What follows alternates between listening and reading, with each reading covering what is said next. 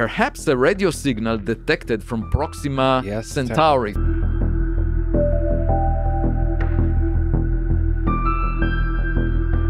Our galaxy alone has billions of livable planets, and the James Webb Space Telescope might bring us one step closer to discovering them.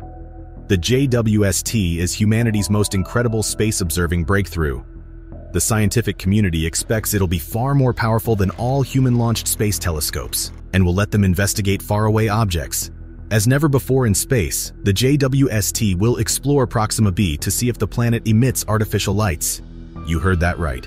to get to Proxima Centauri with uh, the kind of uh, spacecrafts that we already sent, like New Horizons or uh, Voyager 1, Voyager 2, you needed to send them when the first humans left. Scientists want to discover if Proxima b's lights are extraterrestrial. What will the JWST discover when it zooms in on the exoplanet, and how will it affect you? Join us in JWST's groundbreaking revelations about artificial lights on Proxima b, a discovery that can revolutionize everything. Are we alone in space? That's a question everyone's been asking for decades, but a much harder one is where to find intelligent life outside Earth in the cosmos. Many planets are suitable search targets. Scientists say Proxima b, an exoplanet with alarming findings, is the greatest thus far. Why are scientists studying Proxima b? Where is it? What are this planet's terrifying discoveries? And how did the new James Webb Space Telescope unveil its mysteries? When you look up at the night sky, you'll see stars shining brightly. But what you might miss are the planets circling those stars. These planets, known as exoplanets because they're outside our solar system, are too far away to be seen with the naked eye.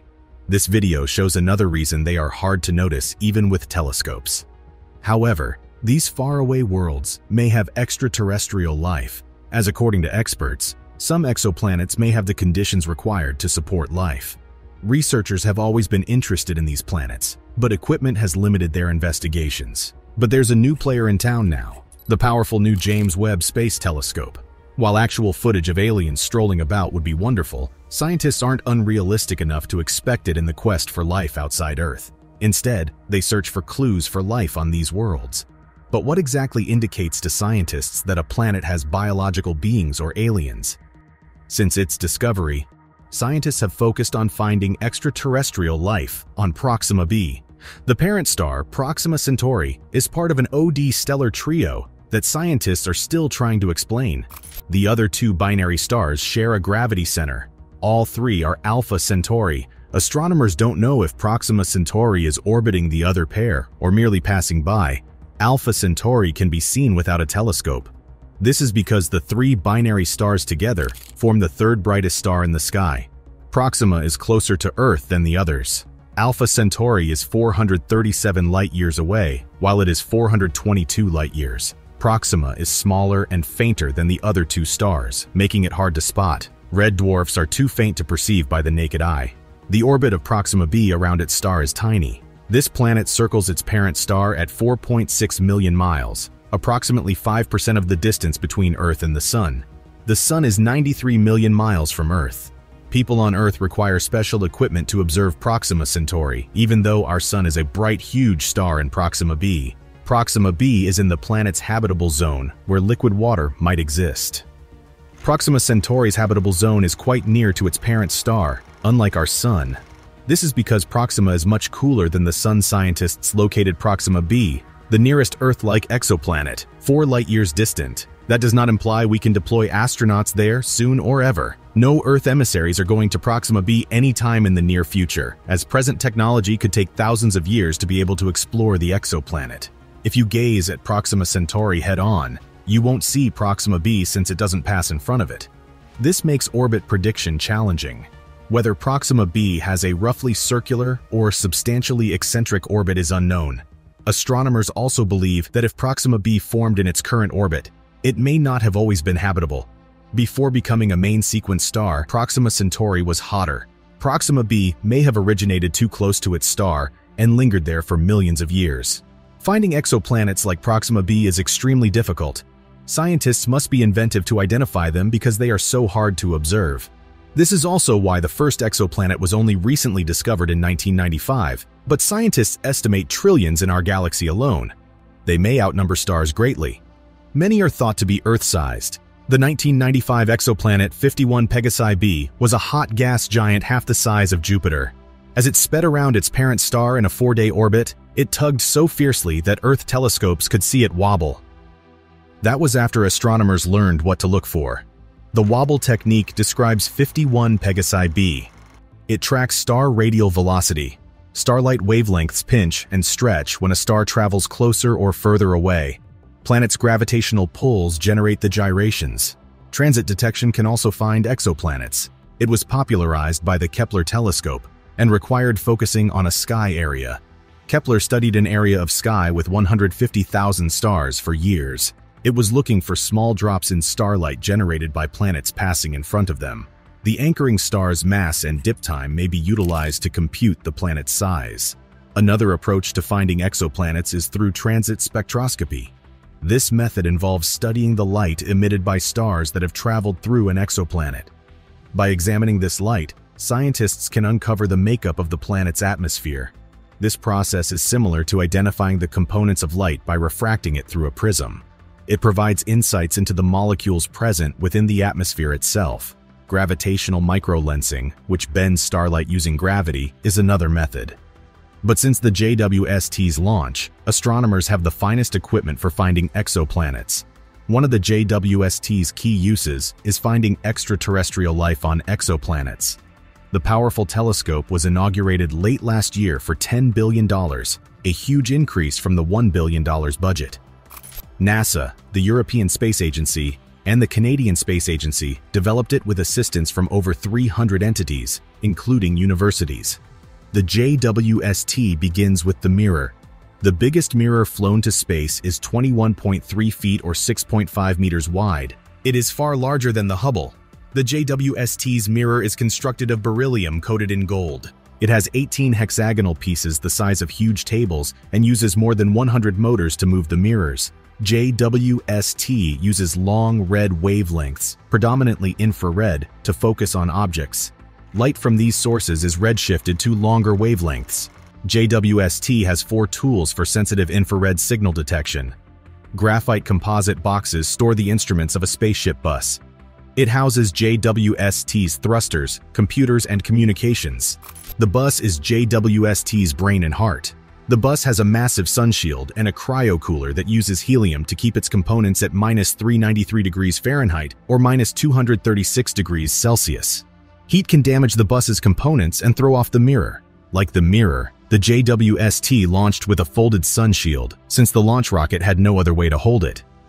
In the first two weeks of the observatory's flight to its final location, the sun shield opened to tennis court length, Five layers of Kapton E-polymer layered between aluminium and silicon deflect sunlight and heat in the sunshield. The sunshield always blocks the sun's view from the JWST's mirror away from the observatory. The JWST will examine exoplanets for life using the transit technique.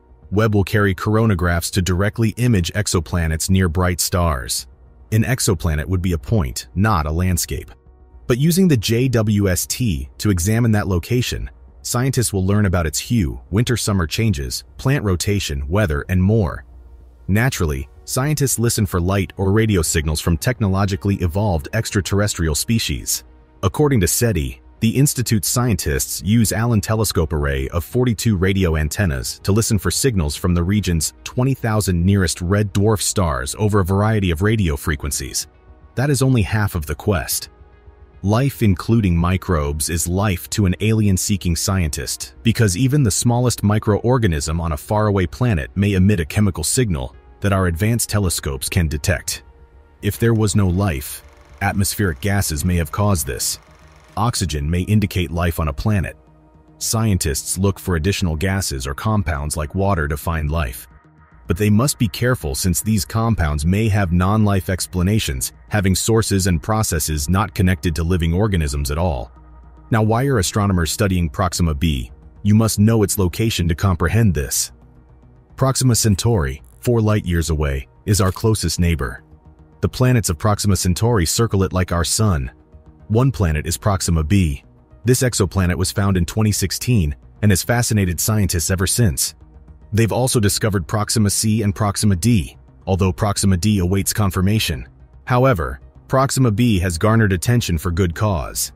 Due to its Earth-like mass, the planet may have liquid water and life because it orbits in its star's habitable zone. Scientifically, Proxima b may have liquid water and be a rocky terrestrial planet like Earth. Another similarity between Earth and the exoplanet is that Proxima b circles a star, and while that's near our solar system, it's dimmer and less big than our Sun. The exoplanet is tidally locked and rotates synchronously with its star, so one side is constantly facing the star, and one is always facing away in light and dark. Whether Proxima b has an atmosphere is unknown. If Proxima b has an atmosphere, water, carbon dioxide, and rock, the basic components for life could be present and reacting on its surface. The planet is close to its star, so close that it completes a single revolution in only 11 Earth days. The surface temperature of the planet might be minus 90 to 30 degrees Celsius or minus 130 to 86 Fahrenheit. Scientists spotted Proxima Centauri b in 2016 using HARPS, an older spectrograph. However, the world's most accurate spectrograph, ESPRESSO, validated the discovery. ESPRESSO's 63 spectroscopic observations of Proxima Centauri in a year dispelled any concerns. Proxima b resembles Earth in many ways. Size is first. After extensive research, scientists found that Proxima b is 17% bigger than Earth, and more Earth-like than previously imagined. It was previously believed that Proxima b was 1.3 times heavier than Earth. Because Proxima b orbits its sun in 11.2 days, you would age quicker than on Earth. According to Earth observations, Proxima b is tidally locked to the sun, meaning that one side is always facing the star, generating dark and brilliant sides. As with the Moon and Earth, we can only view one side of the satellite. Proxima b orbits a three-star system with two additional planets. The two additional planets do not pass in front of Proxima Centauri, making them harder to examine. They were found using the radial velocity technique, which wobbles the star due to the planet's gravity. Our Earth and Proxima b have a similar position relative to their stars. Both live in their star's Goldilocks zones. The Goldilocks zone is the region around a star where life may exist. Proxima b obtains around two-thirds of the Earth's energy while orbiting its star at a distance of one-twelfth of the Earth's from its sun. Because of the star's lower brightness and the lesser distance between the bodies, scientists assumed Proxima b has life. Its Goldilocks orbit suggests water. Liquid water is fundamental to life. High-energy radiation or X-rays and intense UV and particles may dissolve gases and liquids volatiles and escape to space, while visible and infrared light warm the globe. Proxima b receives more radiation than Earth. Therefore, it's important to determine if it's maintained its water and gases since its birth 5 billion years ago. Astronomers have employed cutting-edge technologies and observations to study Proxima b's planet history. This was done to estimate the planet's remaining gases and liquids. They found that Proxima b receives 60 times more high-energy radiation than Earth and 7 to 16 times more since its creation. This happened because Earth was bombarded more powerfully before we arrived. Due to early radiation in the first 100 to 200 million years after creation, Proxima b may have lost around one ocean's worth of water, according to scientists' estimations. What occurred afterward is under investigation. Maybe this Earth-like planet keeps losing atmospheric gases, or maybe it keeps most of its atmosphere and liquid water on the surface, making it habitable. Researchers have found where most of Proxima b's water may reside, which might be useful if you are trapped there. A sophisticated 3D model and a wide range of atmospheric compositions and water inventories revealed that liquid water may be present on the planet's surface in the sunniest regions, either in the hemisphere facing the star or in a tropical belt. What if Proxima b is already home to alien life? There's already a theory suggesting that a steady stream of strong radiation from its host star may allow its unlikely life to develop on the day side. This is because Proxima b is positioned only 4.5 million miles away from its star, or a tenth of Mercury's closest approach to the Sun. Radio astronomers have also detected radio signals from Proxima b, but they believe these were merely due to natural interference. Since the radiation-free side of the planet is constantly dark, any civilization on the exoplanet may need strong mirrors or LED lights to light its cities. This can help us find them with the correct tool. This is why a team led by Harvard astronomer Avi Loeb suggested that the JWST can be configured to detect LED light on Proxima b using the near-infrared instrument on the James Webb Telescope, and by looking for LED light waves in the planet's light at its host star. The scientists computed light curves from Proxima b and its host star to see if artificial lights may be seen on its dark side.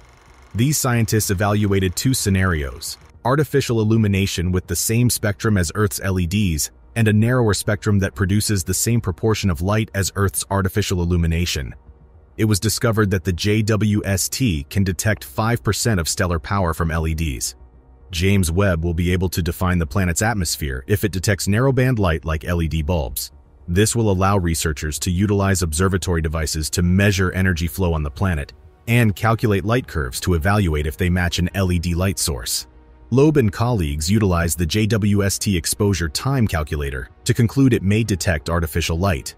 This tool helps astronomers predict what can be detected at any moment using specified parameters before the observatory launches. It allowed researchers to test the feasibility of sensing flux values with a wavelength that matched artificial light. It can certainly be expected from a civilization condemned to dwell in darkness. The lights on the permanent night side should be quite strong, and more likely to be spotted by JWST. The JWST will demonstrate artificial illumination for conventional LEDs 500 times more powerful than those on Earth, and for artificial illumination equivalent to Earth's. For various reasons, Proxima b's findings are crucial. We know there are many planets in the cosmos. There are quadrillions of planets in the Milky Way alone. According to statistics, every star has a planet around it so the likelihood of discovering a habitable planet like Proxima b is great. Proxima b may get Earth visitors, but likely emissaries. Scientists and engineers launched the $100 million Breakthrough Starshot initiative to develop laser technology to propel sail-equipped nanocraft to 20% the speed of light. Breakthrough will be discussed later in this video. The Breakthrough Starshot program wanted to send flotillers of postage stamp-sized probes to Alpha Centauri. Spacecraft flying at 20% the speed of light might reach Alpha Centauri in two decades, compared to thousands of years for traditional probes. Will aliens greet the breakthrough spacecraft at Proxima b? We have begun getting Proxima Centauri transmissions, which opens several doors. An odd signal from Australia's 64-meter Parkes radio telescope started it all.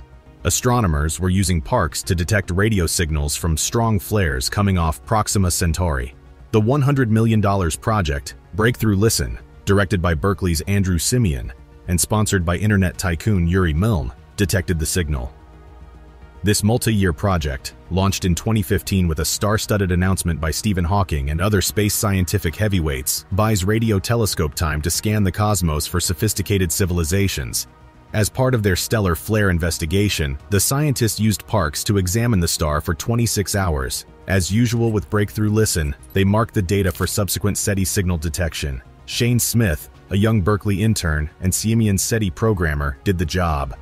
Smith, an undergraduate at Hillsdale College, found the narrowband emission needle sharp at 982.02 MHz in the Proxima Centauri observations by going through the data. After that, everything moved fast. Sophia Sheikh of Penn State University, who analyzed the signal for Breakthrough Listen, said it's the most interesting signal we've uncovered since it's never jumped through so many filters. The researchers soon renamed the signal BLC-1, or Breakthrough Listen Candidate 1. Press accounts say Parkes caught the signal during 530-minute periods over the course of days, all while the telescope pointed straight at Proxima. Breakthrough Listen employs a technique called nodding, where the telescope looks at a target for a time, and then elsewhere in the sky to verify that any possible signal is coming from the target. Five of the 30-minute measurements over three hours see this thing come back. This suggests the signal originated from Proxima Centauri or another far space source in that region before reaching Earth. The signal disappeared as the telescope was pointed away from the star. The signal's origin appears to be firmly restricted to a 16-foot circle, half the size of the full moon around Proxima Centauri. Breakthrough Listen isolates deep space signals from Earth and Earth, orbiting satellite signals using software filters. This communication was unlike anything the project had seen before. Team leader Andrew Siemion told Scientific American that it passed several of their tests due to certain features but failed to explain it. Most intriguingly, it occupies a limited radio spectrum range, around 982 MHz, which is normally free of human-made satellites and spacecraft communications. Siemion said there's no natural method to condense electromagnetic energy into a frequency bin like this. Maybe some odd plasma physics quirk may explain the tantalizingly concentrated radio waves, he thinks. The discovery was significant, according to Penn State University SETI-centric astronomer Jason Wright. If the signal isn't originating from Earth, it's extraterrestrial technology. Let's hear your thoughts about extraterrestrial life on Proxima.